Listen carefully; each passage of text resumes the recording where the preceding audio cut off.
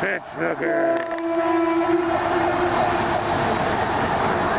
Poor kid just trying to get warmed up on a heater vent.